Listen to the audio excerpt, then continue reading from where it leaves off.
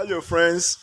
I'd like to help you check if the door that is opening to you is from God because it's not every door that opens to you is from God. How do you know whether that door is from God or not? Number one, does it violate the scriptures? First, Second Timothy three sixteen. All scripture is inspired by God and is profitable for teaching, for correcting, for rebuking, and for training in righteousness. If it's from God, it will line up with the scriptures.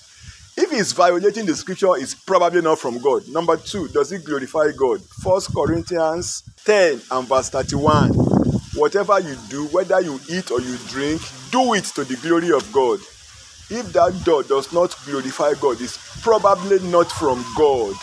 Every door that God is opening for you will glorify Him. Number three, do you have peace?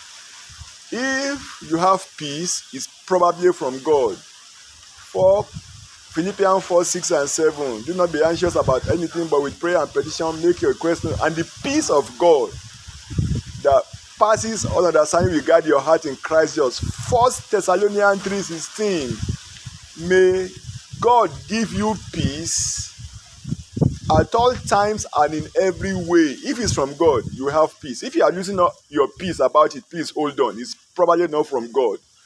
Number four, if the door that God is opening to you is from God. You will, God will use other people to judge to give you confirmation of it. So listen to what your wife will say, listen to what your husband will say, listen to what your pastor will say, listen to what your discipler will say, listen to what your accountability partner will say. Proverbs 27 17, iron sharpens iron.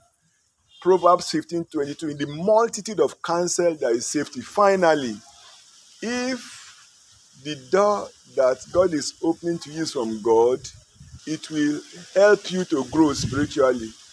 It will not take you away from God. Second Peter 3:18, but grow in grace and in knowledge of our Lord Jesus. The door that God is opening to you, if He's taking you away from God, is probably not from God. God will not give His children something that will endanger their life and their spirituality. I hope this helps. Thank you. God bless you.